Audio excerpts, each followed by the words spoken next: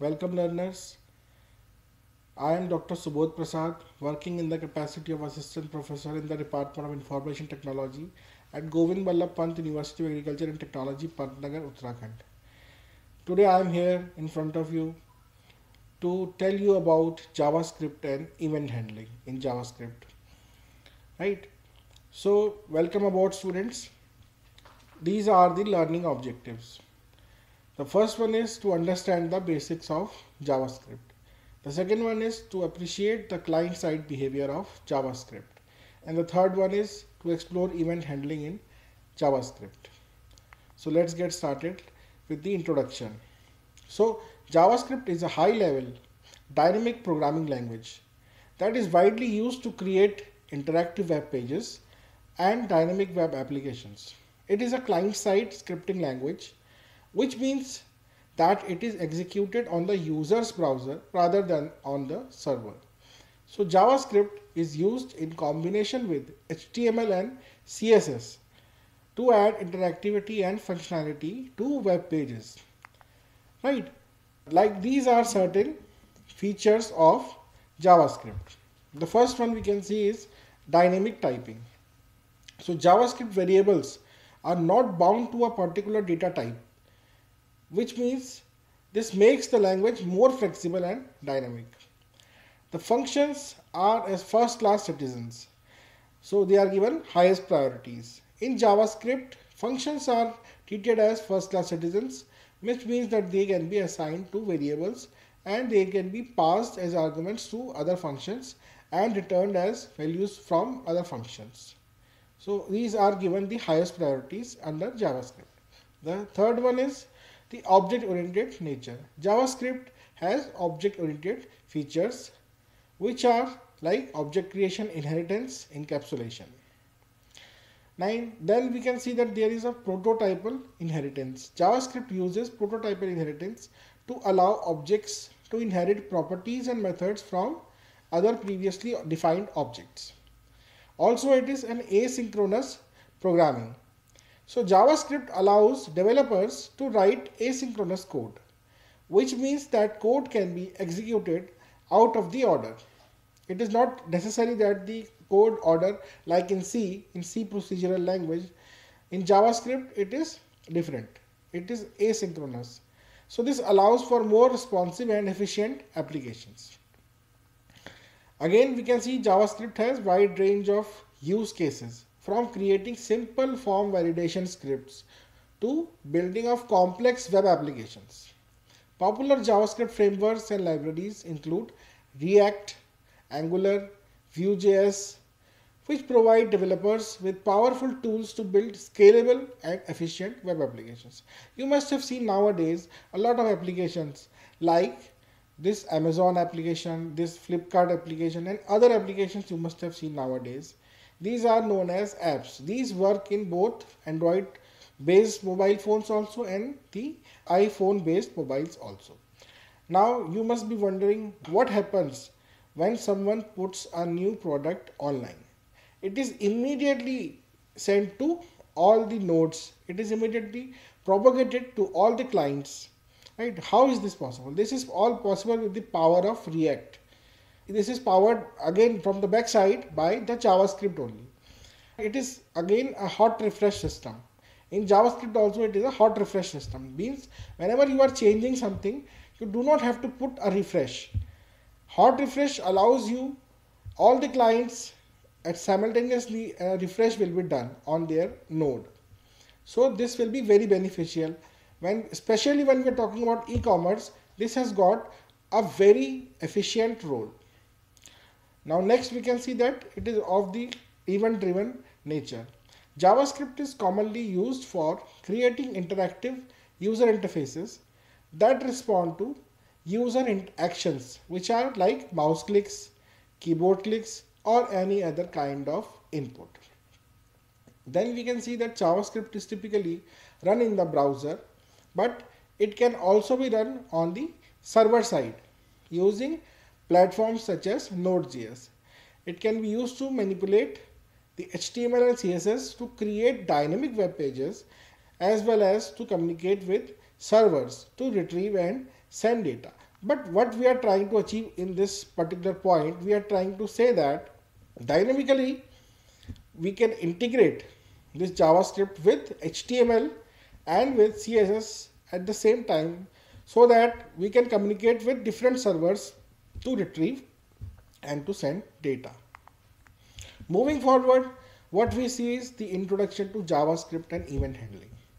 So what is JavaScript? JavaScript is a programming language that is used primarily for client-side web development. It allows developers to add interactivity and dynamic functionality to their websites. What happens when you open the same website from your mobile phone? You will see that the options available on, on the website will get shrinked. They will get shrinked and they will be in the form up to down. So the website adapts itself. If you are opening the same website on the iPad or on the other tablet which is Android powered or you're opening that website in a big screen on a TV on a laptop in whatever device you will open the same website the website will adjust itself accordingly and you will see in Chrome also you get a special option to open the website in a desktop mode otherwise that website will be opening on a mode which is flexible and adjustable according to your device right so this is the excellent feature of javascript and this is achievable because it is again a client side web development environment. So what are event handlers? Event handlers are functions that are executed in response to a specific event such as a mouse click or a key press. They are used to add interactivity of web pages and make them more user friendly. You might have observed whenever you are using mouse on any website, you take your mouse to a particular position, then what happens? then you see the hover effect immediately the light changes or the icon changes it changes to something different. Whenever you take your mouse to some special image it glows or it unglows whatever it is. So all this is coding which is done with the help of javascript. So why do we need event handlers in javascript? Event handlers are an essential part of javascript because they are the ones who allow web developers to create dynamic interactive web pages that responds to users actions right like mouse like keyboard or any other input device. So let us see what are the javascript basics. The syntax and structure of javascript. Javascript code is typically embedded within html pages using the script tags. It can also be stored in separate .js files and linked to the HTML pages using script. Src is equal to double quotes right? This tag. So variables data types and operators in JavaScript. JavaScript uh, supports a variety of data types including the strings, the numbers and the booleans. So variables are used to store and manipulate data in JavaScript and operators are used to perform calculations and comparisons amongst them. The functions and conditional statements in JavaScript. Functions are reusable blocks of codes that can be called multiple times within a JavaScript code. They are useful for organizing code and making it easier to read and understand. So this is essentially very important. Conditional statements allow developers to control the flow of their code based on any specific conditions. So JavaScript events. Now what are JavaScript events? Like I have told you previously also, whenever you are performing any action or occurrence that happen in the browser, such as clicking a button or submitting a form. JavaScript can be of very useful. It is used to respond to these events and execute codes accordingly right? So for example we can see this is small code. This is the html code right? In this we have a javascript event example. This is javascript comment function handle. So you, you are giving an alert. That button is clicked right so in this you can see this script is closing over here. And then at the head we have written that title javascript event example the title close and script starts. This script marks that we are writing the javascript code from here. This is javascript comment function handle right? So this is double forward slashes. Therefore this is a comment So this command will not be executed. After this what you see is the curly braces alert button clicked. So whenever the button will be clicked this script is unclosed. So and then this, this head is closed and body is closed. So this will get executed over here. Right? JavaScript event example button on click handle click click me button. So when this click me button gets clicked this alert button clicked will be popped up right so you can see a body is over there and the corresponding script is written above right moving ahead we can see that there is an example by this pictorial representation. So button value is click me. On click alert thank you. This will be shown. So this is the script. Performs requested action javascript. When the user clicks the button object gives a button widget. It raises click event and then on click event listener is initiated. After this the handles click event and javascript performs the requested action so javascript events common javascript events include click submit key up key down mouse over and load. So the examples are here. We are writing this code javascript event example. This is a comment function. Handle key press event. Console.log key pressed is the plus key event dot key. So this event dot key is activated when we are doing what we are putting a key button. Right? This event is on key press. Now you can see the body. On key press is equal to handle key press event. So this function gets called as initially I have told that it is a providing high precedence to functions. So functions are having the most priority. After this we can see this is h1 JavaScript event example h1 p press any key to exit to see the key code logged on the console right.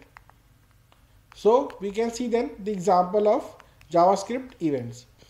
So JavaScript events are actions or occurrences that happen in a web page such as clicking a button, submitting a form or resizing the window. When an event occurs, JavaScript can respond by executing a block of code such, such as updation on the page, content of the validation, etc. So all this I have already explained to you. You can easily go through it again and again. These are again then the submit events. The submit events are is triggered when a user submits a button, essentially presses a button. So again, this is a simple example it can be seen that on submit return validate form input type is text name username then input type is password so the name is password the button type is submit so when the submit button gets pressed this content executes this is on the php code.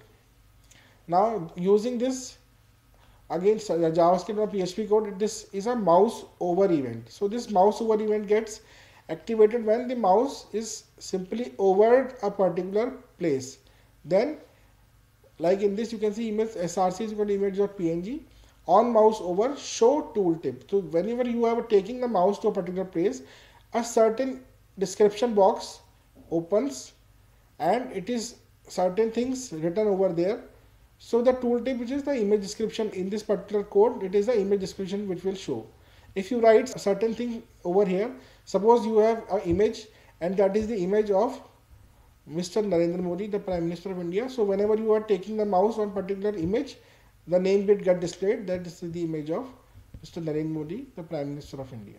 Right? Understood? After this, this is then again an example of JavaScript event. It is the key down event. So in this key down event, what we are doing, this is on a Python code. So input type is text and on key down, we are searching the event. So after key down, this event get executed. So there are three types of event associated with every key on the keyboard. One is the key down, another is key up, and the third one is the key hold. So particularly this this particular code is for the key down only, not the key up. So as soon as you're pressing the key, this particular event gets activated and JavaScript returns its results. And then we can see another is this load event. So our load event is to successfully tell that a particular web page has been fully loaded. So body on load is is equal to init and whatever the code is there and in the last it is the body close tag. So whenever the complete web page gets load this load event gets terminated. So this is the main summary what we have done till now. we have understood the basics of JavaScript, how the JavaScript is working, what is the heart of the JavaScript, and with different types of works that can be done using the JavaScript. After that, we saw that what is event handling, essentially what are the different events that are done by using different input devices and how these kinds of events can be properly handled, properly uh, accessed and these properly dis disposed of. So thank you very much for your patience and time. We will see in the next lecture about cookies, JavaScript cookies, how these cookies are useful and what these cookies can do and how you should be very carefully using these cookies. Thank you very much.